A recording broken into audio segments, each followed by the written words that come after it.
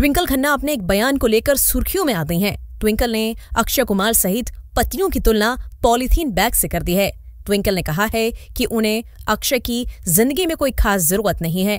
Twinkle हमेशा अपने बयानों को लेकर सुर्खियों में बनी रहती हैं। आए दिन उनके स्टेटमेंट्स पर बवाल खड़ा हो जाता है। इस वजह से कई बार खुद उनके पति अक्षय कुमार भी मुसीबतों में फंस जाते हैं।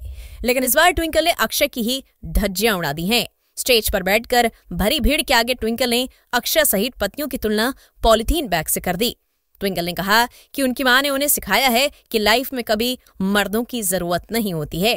ट्विंकल के इंटरव्यू का एक क्लिप वायरल हो रहा है, जिसमें उनसे पूछा जाता है कि उन्हें कैसे एहसास हुआ कि वो एक फेमिनिस्ट हैं। इस पर ट्विंकल जवाब देते हुए कहती हैं कि उनकी माँ डिम्पल कपाड़िया ने उन्हें बड़े होने के दौरान सिखाया कि महिलाओं को मर्दों की ज़रूरत नहीं है। ट्विंकल ने कहा, हमने कभी भी फेमिनिज्म या बराबरी या फिर किसी भी चीज़ के बारे में कभी नहीं बोला, लेकिन ये बिल्कुल क्लियर था कि किसी पुरुष की कोई आवश्यकता नहीं थी। एक पुरुष का होना बहुत अच्छा होगा। जैसे आपके पास एक अच्छा हैंडबैग है, पर अगर आपके पास एक प्लास्टिक बैग भी है तो ये भी चलेगा।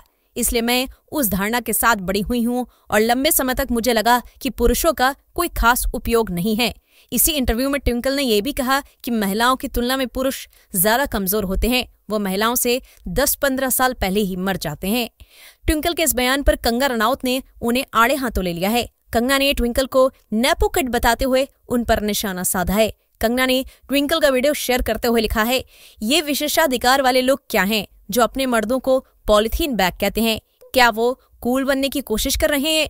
चांदी के चम्मच के साथ पैदा हुए नेपोकिट्स को सोनी की थाली में फिल्मी करियर मिला, लेकिन निश्चित रूप से वो इसके साथ बिल्कुल न्याय नहीं कर सके।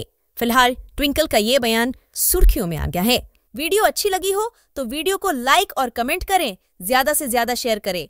अगर चैनल पर नए हैं, चैनल को सब्सक्राइब करें और वीडियो की नोटिफिकेशन पाने के लिए बेल आइकॉन दबाना न भूलें।